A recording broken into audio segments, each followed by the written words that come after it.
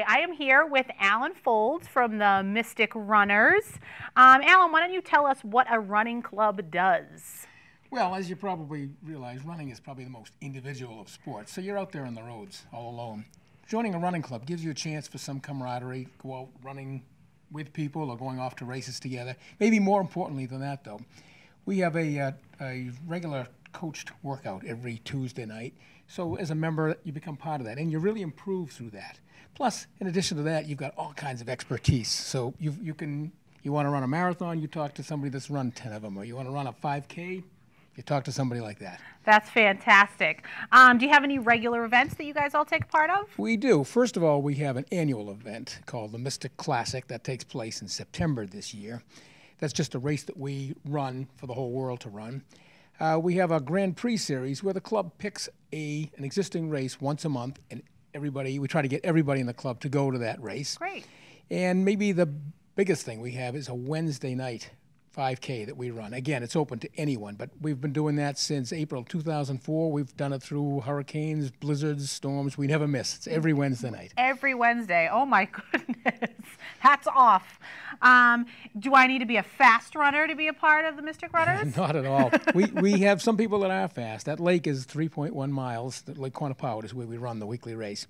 And we have people that'll do it in 16, 17 minutes, the kids. but we have people coming in 40, 45 minutes too. We have all types of runners in the club. That's fantastic. That's great. Um, and how would I join? Couple of ways. One is you can show up some Wednesday night. That's how probably most of our new members join. We also have a website, mysticrunners.com. You can sign up right right online too. Fantastic.